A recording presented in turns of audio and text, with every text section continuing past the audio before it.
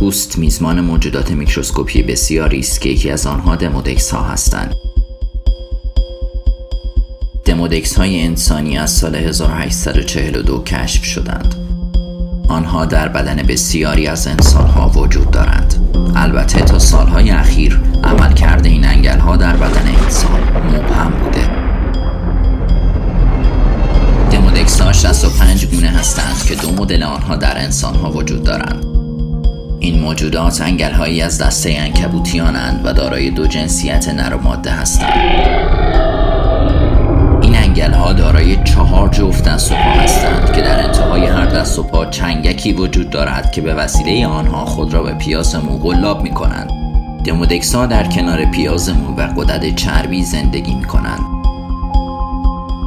مراقب افزایش تعداد آنها در بدن خود باشید.